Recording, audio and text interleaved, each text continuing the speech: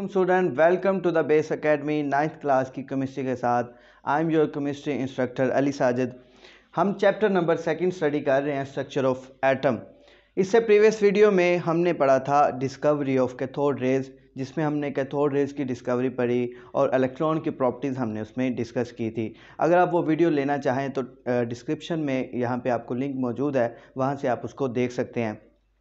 तो क्या हुआ कि जे जे थॉमसन ने और सर विलियम क्रूक्स की मदद से, क्या हुआ कि उन्होंने डिस्कवरी ऑफ़ पहले सर विलियम क्रूक्स ने डिस्कवरी ऑफ़ इलेक्ट्रॉन की डिस्कवरी ऑफ़ कैथोड रेस किया देन वहीं से एक एक सब अटोमिक पार्टिकल इलेक्ट्रॉन डिस्कवर हुआ, जो बाद में जे जे थॉमसन ने कहा कि इसके ऊपर ई और एम वैल्यूज़ की उसने फाइंड की। तो उसके बाद अब ये था कि 1886 के अंदर इलेक्ट्रॉन तो डिस्कवर हो चुका था। लेकिन अगर हम ये समझें कि इलेक्ट्रॉन के ऊपर जस्ट इलेक्ट्रॉन ही है इलेक्ट्रॉन के अंदर तो फिर इलेक्ट्रॉन क्या है? इलेक्ट्रॉन एक चार्ज है।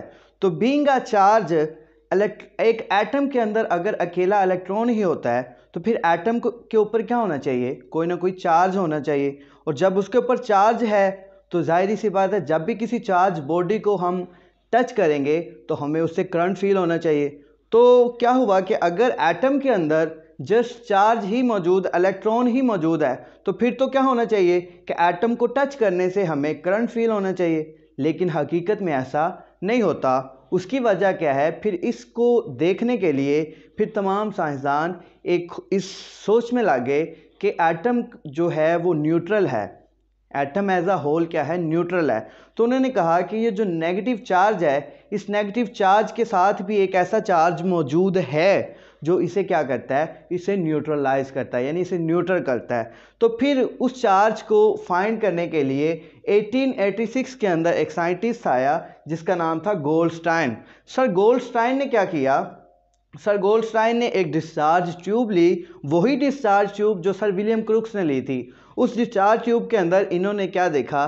कि जो रेस कैथोड की तरफ़ से निकल रही थी, उसके ऑपोजिट भी कुछ रेस एनोड की तरफ़ से एमिट हो रही थी। और वो एनोड की तरफ़ जो रेस आ रही थी, वो इन्हें कैथोड की जो परफोरेटेड प्लेट थी, उसमें से पास होने के बाद एक ग्लो नज़र आई, जिससे सर गोल्ड गोल्डस्टाइन को ये आइडिया हुआ, ये उन्हें अंदाज़ा हो गया कि लाजमी तौर पर इन कैथोड रेस के अपोजिट भी कुछ रेस यहाँ पे इस ट्यूब के अंदर मौजूद हैं। और वो रेस क्योंकि इसके ऑपोजिट जा रही हैं और वो कैनाल में से छोटे छोटे होल्स में से निकल रही थी, इसलिए उन रेस को उन्होंने कैनाल रेस का नाम दिया। तो यहाँ पे देखें in 1886 Goldstein observe that in addition to cathode rays were also present in the discharge tube these rays were travelling in opposite direction to cathode rays जो मैं आपको बता चुका हूँ।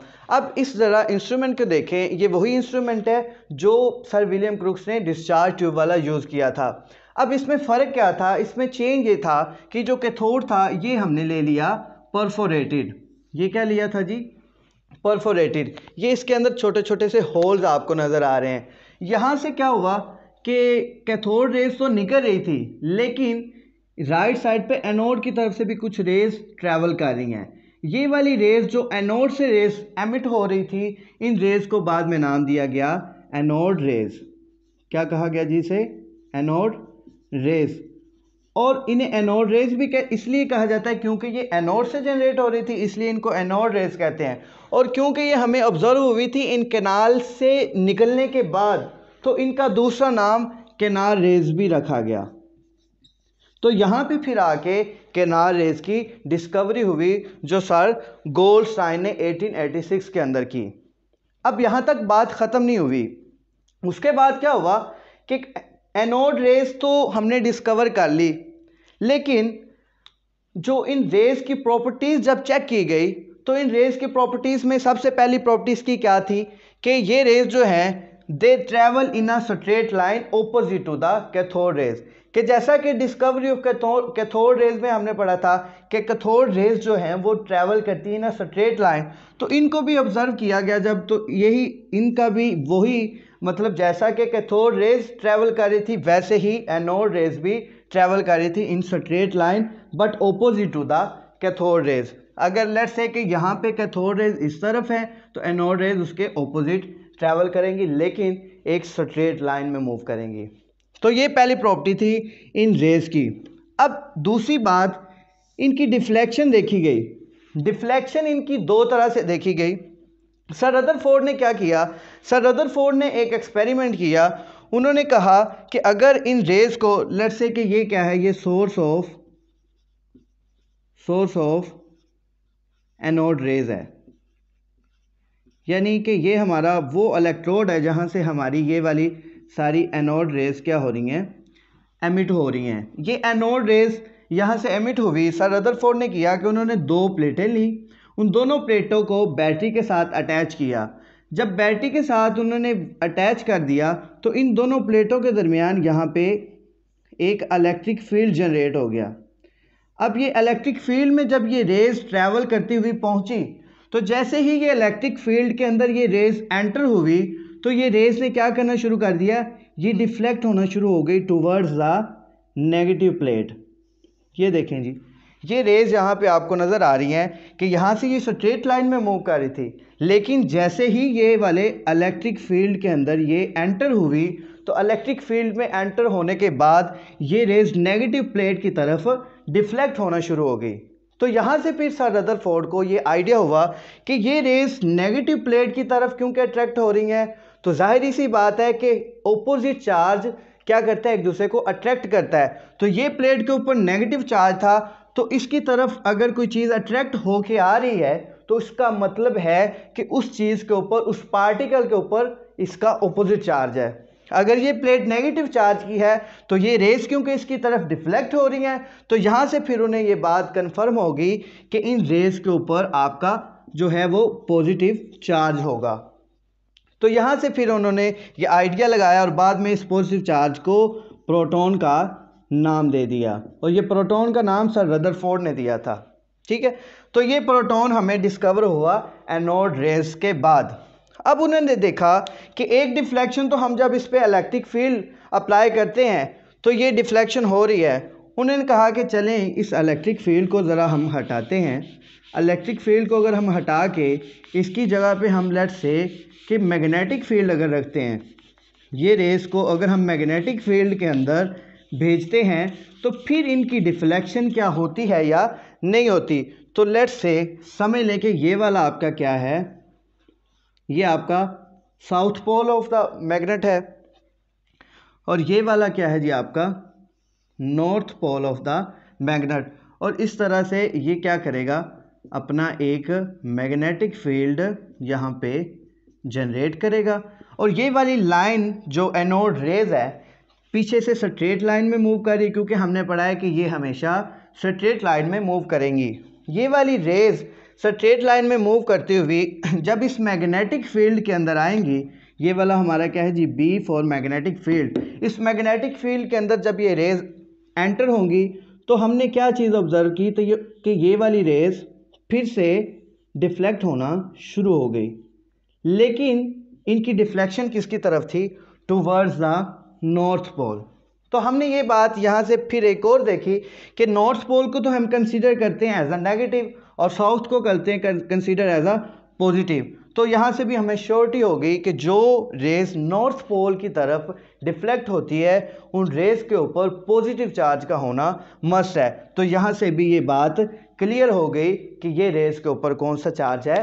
पॉजिटिव चार्ज है। और उस पॉजिटिव चार्ज को मैं आपको बता चुका हूँ कि बाद में रदरफोर्ड ने कहा कि दिस इज़ द प्रोटॉन और प्रोटॉन ही ऐसी चीज़ है जो एटम के अंदर किसी भी एटम का मैस जो है, वो डिफाइन करता है कि किसी भी एटम का मैस कितना हो सकता है।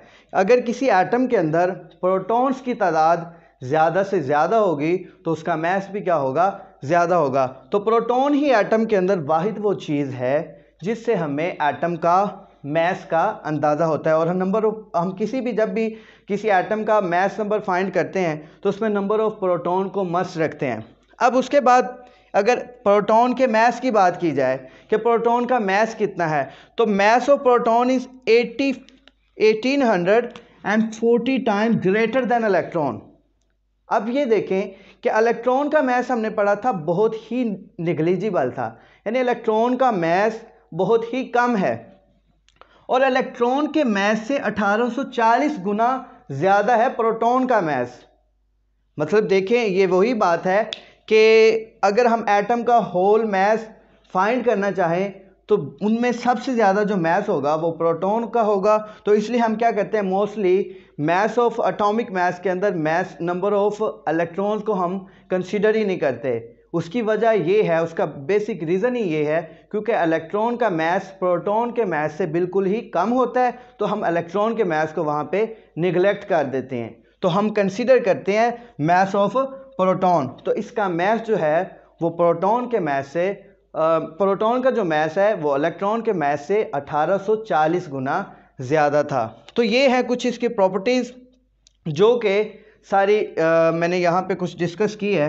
बाकी आपकी बुक पे भी हैं वो आप आ, उसमें यहाँ से वहाँ से डिटेल में पढ़ सकते हैं। अब दो चीज़ें हमने एटम के अंदर फाइंड कर ली। एक तो क्या था इससे प्रीवियस वीडियो में हम देख चुके हैं कि इलेक्ट्रॉन डिस्कवर हो चुका अब प्रोटॉन भी डिस्कवर हो चुका।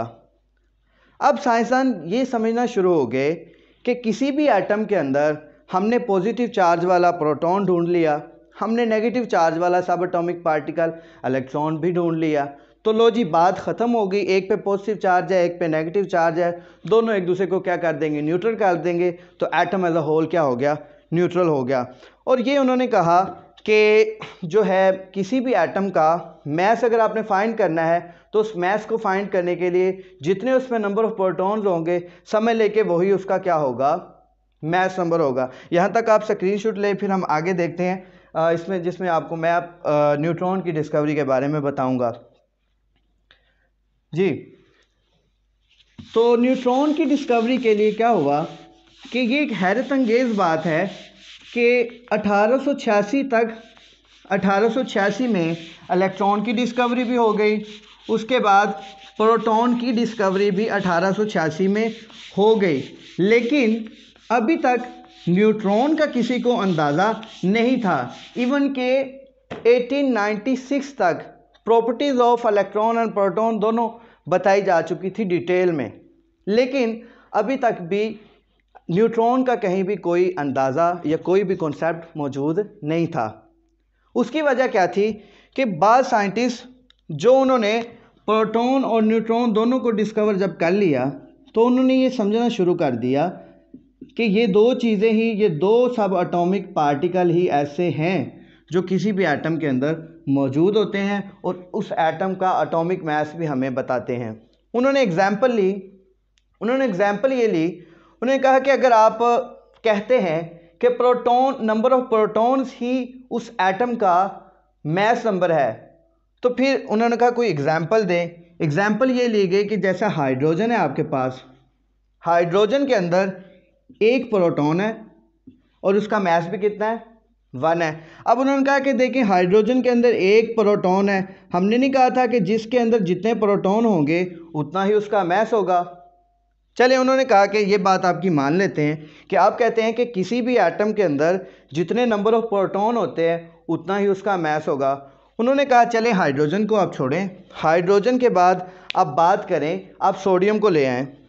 सोडियम के सोडियम के अंदर 11 प्रोटॉन होते हैं। अब उन्होंने कहा कि चलें, इसको वेट पे रखते हैं। इसका वेट करें। तो बताएँ, इसका वेट कितना होगा? तो क्योंकि इसके अंदर नंबर ऑफ़ प्रोटॉन 11 है। ग्यारह प्रोटोन है तो इसका मैस क्या होना चाहिए? ग्यारह होना चाहिए। लेकिन जब इसका वेट किया गया तो इसका वेट तो तकरीबन हमें ट्वेंटी थ्री मिला।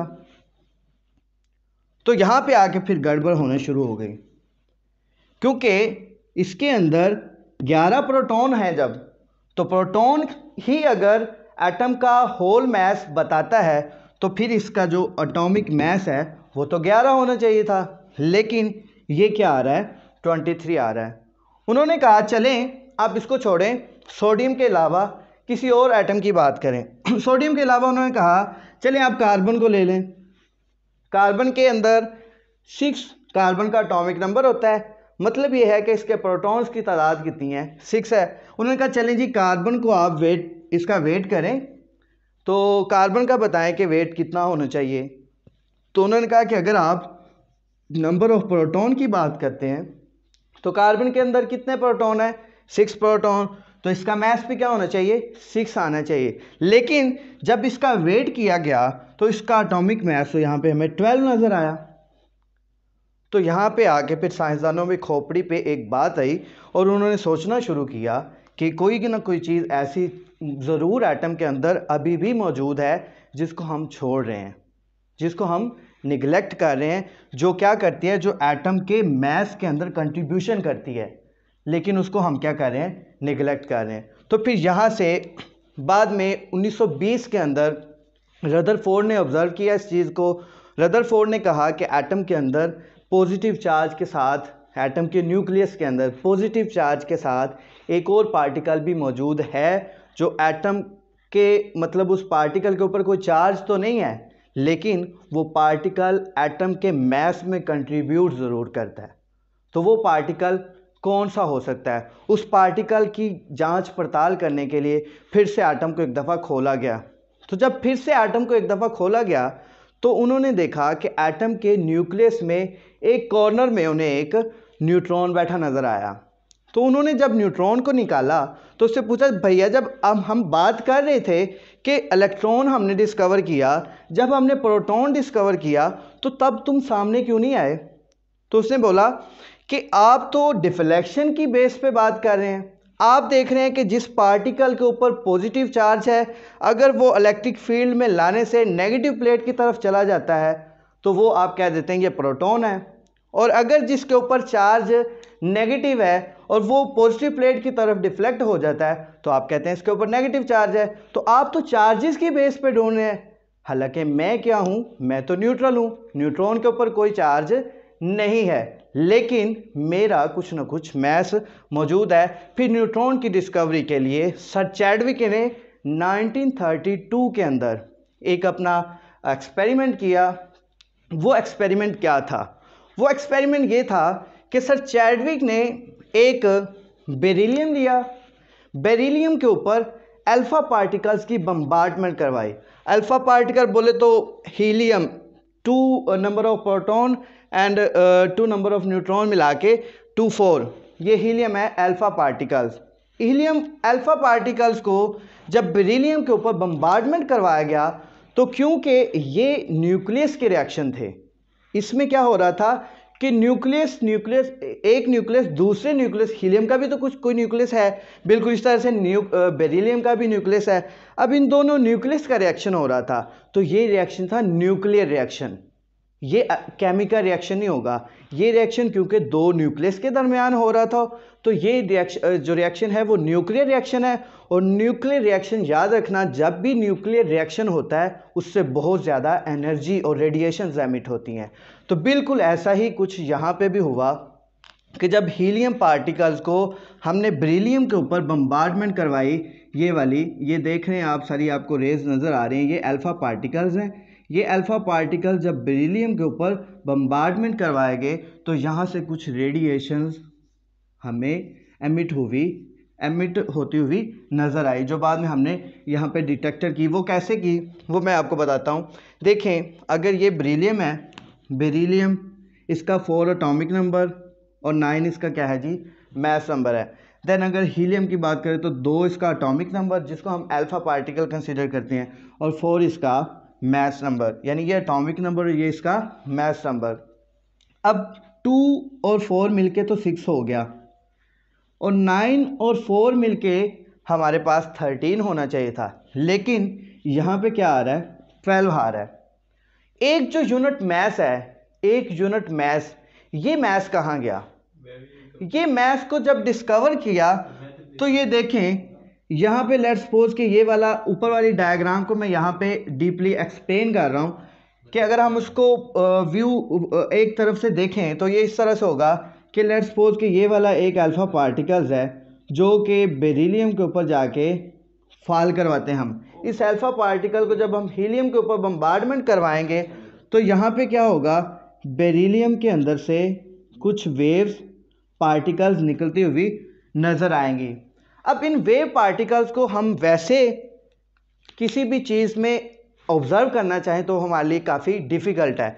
फिर हम क्या करते हैं? यहाँ पे एक पैराफिन वैक्स लेते हैं। इस पैराफिन वैक्स के अंदर, इसके ऊपर, इस पैराफिन वैक्स के ऊपर हम क्या करवाएँगे? इन रेडिएशन जो बेरिलियम से निकलेंगी, वो पैराफिन वैक्स पे जाके गिरेंगी और पैराफिन वैक्स में से रेडिएशंस तो जो होंगी, वो आगे गुजर जाएँगी। लेकिन उसमें जो पार्टिकल होगा, वो उस पैराफिन वैक्स के अंदर रह जाएगा। अब वो पार्टिकल फिर बाद में आप पैराफिन वैक्स से निकाल के चेक किया। जब पैराफिन वैक्स से वो पार्टिकल को निकाला गया तो वो पार्टिकल का मैस कितना था? वन यूनिट मैस था, जो यहाँ से गायब हुआ था। तो वो जो वन यूनिट मैस था, वो वन यूनिट मैस हमें बता रहा था कि यही वो पार्टिकल है जिसकी वजह से एटम का मैस जो है ना एज अ होल बढ़ जाता है। और यही वो पार्टिकल जो न्यूट्रल है। और जिसको हमने कह कह दिया, ये ही हमारा न्यूट्रॉन है। तो यहाँ से फिर जाके सर चैडविक ने न्यूट्रॉन की डिस्कवरी दी। और न्यूट्रॉन की अगर प्रॉपर्टीज़ देखी जाए तो न्यूट्रॉन की प्रॉपर्टीज़ में सबसे पहली प्रॉपर्टी ये है कि neutron are highly penetrating. Penetrating mean कि जिस भी अगर मटेरियल में के ऊपर इसको फाल करवाएँगे तो उस मटेरियल में ये धस जाएँगे, यानी उस मटेरियल में से ये पास कर जाएँगे। हाईली पेनीट्रेट हैं। अगर इसको पेनीट्रेटिंग को आप समझना चाहते हैं तो आप टेंथ क्लास में देखें जाके अगर, वहाँ पे अल्फ़ा पार्टिकल्स, बीटा पार्टिकल और गैमा पार्टिकल्स, इन तीनों पार्टिकल्स की वहाँ पे करेक्टरिस्टिक्स बताई गई हैं, जिसमें यह है कि जो अल्फ़ा पार्टिकल्स होते हैं, वो लेस पेनिट्रेट होते हैं। यानी अगर उसको किसी भी मटेरियल के ऊपर बम्बार्डमेंट करवाया जाए तो बहुत ही कम पार्टिकल उसमें से पेनिट्रेट करते हैं और मोस्टली उसमें से पेनिट्रेट करते ही नहीं हैं। और अगर हम बीटा पार्टिकल को लें तो बीटा पार्टिकल की जो पेनिट्रेटिंग रेट होता है, वो अल्फ़ा की नस्बत थोड़ा ज़्यादा होता है। और अगर हम गामा पार्टिकल्स लें तो गामा पार्टिकल्स उनका जो पेनिट्रेटिंग रेट होता है, वो बहुत ही ज़्यादा होता है। और वो बहुत ही पेनिट्रेटिंग होती है। और वजह क्या है कि हीलियम के ऊपर पॉजिटिव चार्ज बीटा के ऊपर नेगेटिव चार्ज और जो गामा पार्टिकल होती है, वो न्यूट्रल होती है। तो यहाँ पे न्यूट्रॉन है तो न्यूट्रॉन भी क्या है? न्यूट्रल है, इसलिए न्यूट्रॉन क्या होता है? हाईली पेनिट्रेटिंग होता है। उसके बाद इसकी दूसरी प्रॉपर्टी है कि neutron can not ionise gas. अगर इसको किसी गैस में से गुजारा जाए तो ये उस गैस को आयनाइज नहीं करेंगे। क्यों? क्योंकि इसके ऊपर खुद ही कोई चार्ज नहीं है तो ये किसी किसी भी गैस को आयनाइज नहीं कर सकता। और अगर इसके अब मैस की बात की जाए तो mass of the proton, mass of the neutron proton के मैस से स्लाइटर देन इसका थोड़ा सा मैस ग्रेटर होता है। मतलब क्या है कि प्रोटॉन का मैस कम होता है एटम के अंदर और न्यूट्रॉन का मैस प्रोटॉन के मैस से ज़्यादा है। अगर हम तीनों सब एटॉमिक पार्टिकल को कंपेयर करें तो इलेक्ट्रॉन का मैस सबसे कम, उससे ज़्यादा प्रोटॉन का मैस और उस प्रोटॉन से ज़्यादा भी न्यूट्रॉन का मैस होगा। तो प्रोटॉन से स्लाइटर ज़्यादा होता है और अगर हम अप्रोक्सीमेटली लें तो अप्रोक्सीमेटली हम यही कह देते हैं कि मैस ऑफ़ प्रोटोन और mass of neutron almost equal है। जैसा कि आप एग्ज़ाम्पल यहाँ पे देखें कि इसमें कार्बन में नंबर ऑफ़ प्रोटॉन भी सिक्स है और नंबर ऑफ़ न्यूट्रॉन भी सिक्स है और इन दोनों को मिलाने से एटम का होल मैस क्या बन जाता है? ट्वेल्व बन जाता है। मैथ नंबर क्या होता है? मैथ नंबर वो होता है जिसमें हम नंबर ऑफ़ प्रोटॉन और नंबर ऑफ़ न्यूट्रॉन दोनों को सम अप करते हैं। दोनों को सम अप करने से हमें किसी भी एटम का मैथ नंबर मिलता है। तो अब जब हमने न्यूट्रॉन की डिस्कवरी कर ली तो हमें ये बात क्लियर हो गई कि किसी भी एटम का अगर होल मैस बताना हो तो उसमें न्यूट्रॉन और प्रोटॉन दोनों का मैस बताया जाएगा। आई होप सो कि आपको आज की वीडियो में जो कुछ मैंने बताया है, वो समझ आ गई होगी। तो अगर कोई आपका क्वेश्चन हो तो आप कमेंट बॉक्स कमेंट बॉक्स में पूछ सकते हैं। आज तक के लिए हमारा इतना ही था। इन हम आने वाली वीडियो के अंदर रदर फोर्ड का अटोमिक मॉडल डिटेल में डिस्कस करेंगे।